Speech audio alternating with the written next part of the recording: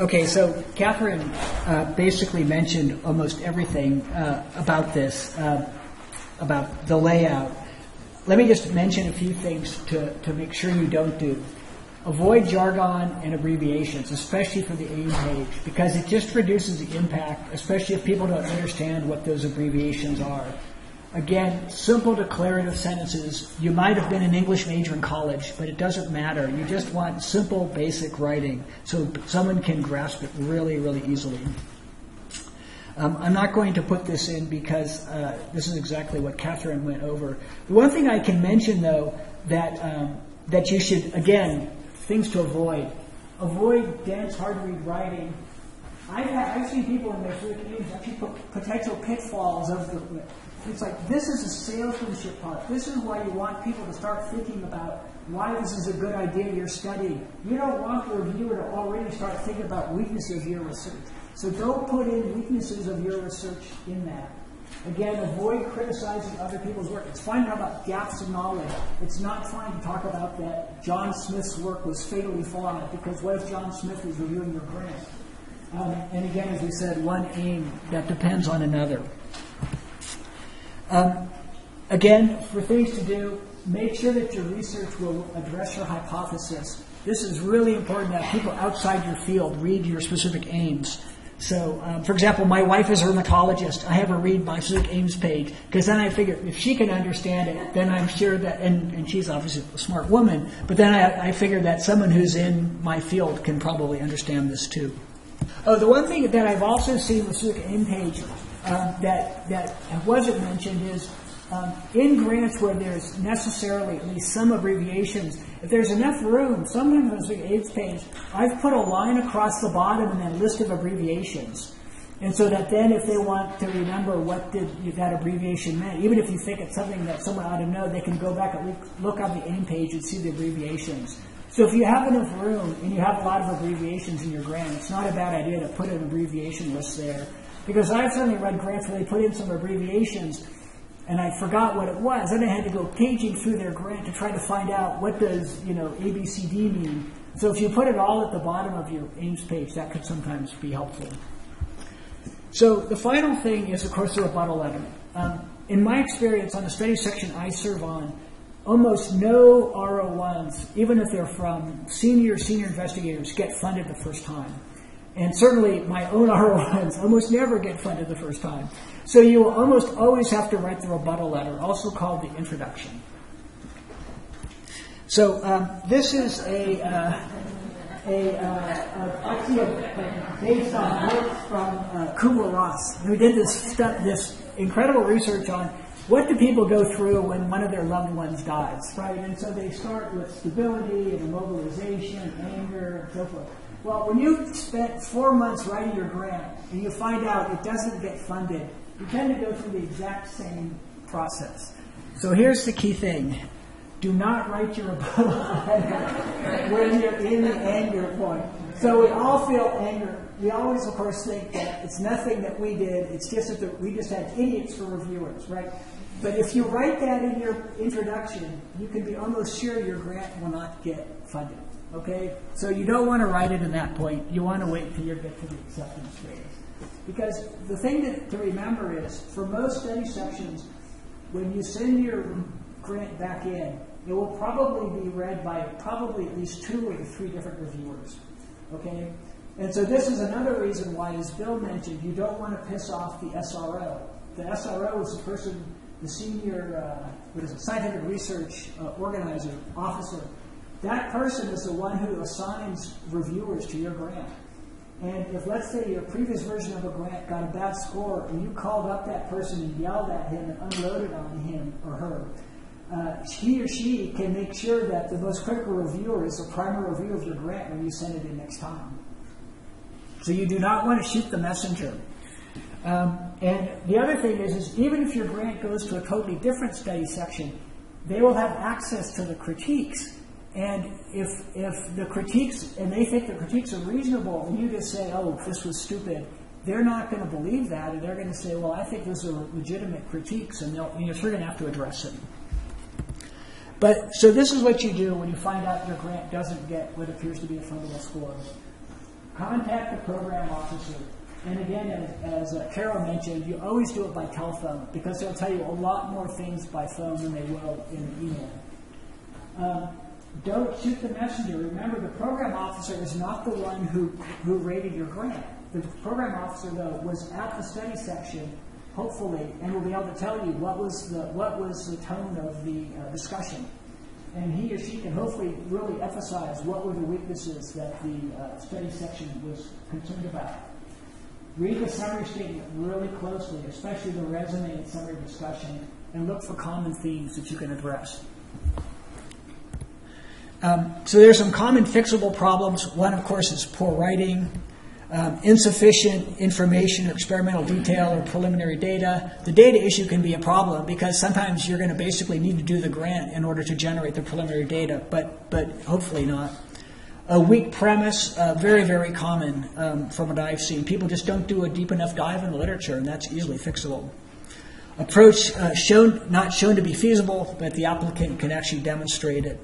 And then, of course, insufficient discussion of potential problems and alternative approaches. In my experience, this is a very, very common problem. Now, there are ones that are tougher. One is philosophical issues, like the reviewers believe the work is not significant. If that's the case, and it's just like, yes, yes, it is. No, it's not. It's pretty hard to fix that one. Um, hypotheses are not sound or, or supported by the data presented. Uh, the work's already been done, and sometimes, you, you know, you see grants where they actually before they sent the grant in, um, but, but, between the time the grant was submitted and the time you reviewed it, a seminal paper comes out that actually answers the grant. And, you know, this happens sometimes. And the proposed method is not suitable for testing the hypothesis. And poor investigator environment score, those are really, really hard to fix. But hopefully, being at UCLA, um, the environment score won't be much of a problem, but it certainly can be for certain labs. So you have one page to write what's called the introduction.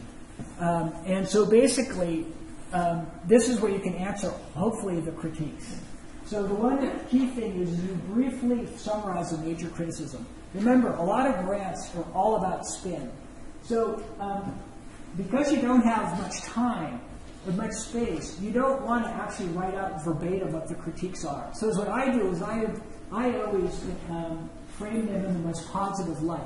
In other words, you don't want to say the reviewers felt that we were unqualified to do the proposed work. Instead, you say the reviewers felt that additional expertise in statistical analysis would strengthen the project. Right? So you don't want to make it make yourself sound bad. And so I always try to frame these in the most positive light possible, and also, of course, using the least amount of space. Remember again, as I mentioned, some of the reviewers will read the revised version and so, um, and a, a, review criterion is was the revised grant responsive to the previous review? Okay?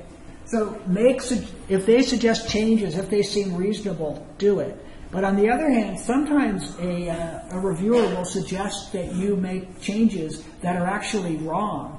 And I've seen grants, and I've had it happen myself, where you get whipsawed, where you actually respond to what reviewer one says. You send the grant in, and they said, "Oh, it's a shame," because reviewer one, let's say, didn't like aim three, and then you basically get another review saying, "It's a shame they didn't do uh, plan to do X, and that was what was in your aim three. So just because a reviewer says you ought to do it doesn't mean you should do it, but you should take their comments very, very seriously. But if you think that whatever they expect is a bad idea because, let's say, it's not feasible or is going to open a whole can of worms, you should then comment on respectfully why you don't think that's a good idea. So, um, also be polite. This is a quote from a grant I reviewed. The reviewer is just plain wrong. And um, obviously, uh, that grant did not get a fundable score when it was reviewed. Whereas clearly, if you disagree, you can say things like, we respectfully disagree. And again, remember the viewpoint of the reviewer, that you're going to probably get that same person reviewing your grant. So um, instead of being defensive, try to keep the point positive. Uh, in fact, frankly, I sometimes say if they say what I think is a really good point, I'll actually say the viewer makes the excellent point that because face it, then if you were reading it, they say, oh, good, they thought I made a good point, right? And so that probably is positive. And of course, try to convey commitment and excitement by hopefully presenting additional data or new publication. And again, even if you think you've written it in a nice manner, you should have someone else read it to make sure it doesn't sound antagonistic or angry, because that's very, very common, and you don't want that sort of feeling to seep through. So, um, again, the final thoughts then is you really want your grant to be the best possible. So, by maximizing your preliminary data and publications, again, have other people read it, especially people who are not in your own lab but outside of your group, if you possibly can. Uh, right now, though, uh, here's another thought: is after one resubmission, you're allowed to, you cannot resubmit the grant with the same title, but you can then resubmit it as a with a different title. Now, the resubmission for the second time will not have an introduction. But that being said, the reviewers reading it may well still be the ones who didn't give it a good score on the, the um, first resubmission. So although you don't specifically write, have an introduction where you respond to the critiques, you should respond to the critiques basically in the body of the grant by making the changes that they suggest. So another sort of final thing is let's just say um, when you send in your, your grant that um, in three different times or two different times the reviewers really liked AIM 1 but didn't like AIMS 2 or 3.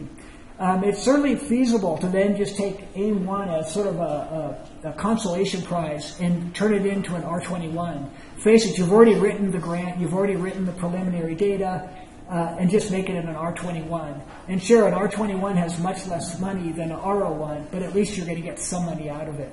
So rather than abandoning the project completely, if it's clear that the reviewers really like one of specific aims, and it just seems like you can't get the, the full R01 over the mark, is at least try cutting out one of the aims and sending in as an R21.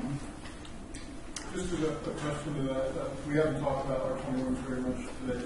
Uh, are R21s usually uh, good enough to just have one aim, or do you usually want to? Well, you can use, I mean, this is where I think the basic science and the uh, clinical ones are likely a little bit different. Most basic science grants that I read typically only have two aims, and maybe two and possibly three.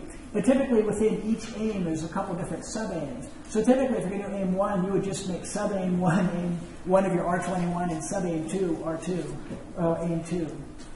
So typically, that's what you can end up doing. Obviously, if you have an integrated grant that's tightly integrated and you can't take an aim out, then, then you're going to have trouble. But sort of with basic science, it's usually easy to, pretty easy to break it up into subgrants if you need be.